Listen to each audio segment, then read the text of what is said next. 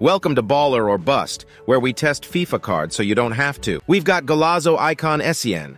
You can acquire him via SBC for 845,000 coins. If you need coins, go to U7. Buy, use code ZADE for 6% off. Now he fits into the free Evo, so you can actually turn him into a 92, which is sick because this card is already great at a 91. His base is a club legend on my RTG because he's just that good.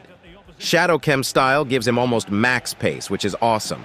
This guy is a high-level box-to-box midfielder. Defensively, he's insane. He's got great stats. He's got Anticipate and Jockey Plus as his defensive playstyles. I mean, only two, but both are great. Physicality-wise, he's a monster.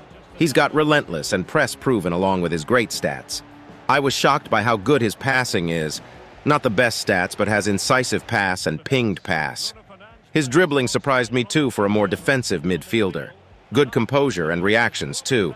He's got great long shot ability with his power shots and his power shot plus play style.